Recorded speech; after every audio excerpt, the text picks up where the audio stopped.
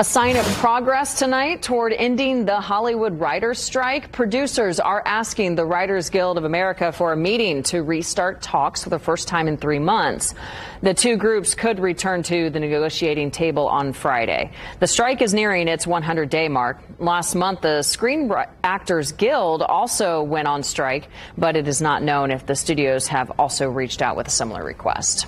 Meanwhile, Seth MacFarlane is pitching in to help his fellow actors during the strikes. He's donated $1 million to the Entertainment Community Fund to help striking uh, film and television workers. He's one of more than 7,500 donors who have kicked in more than $6.3 million since early May. According to the fund, it's currently distributing 400 to $500,000 a week.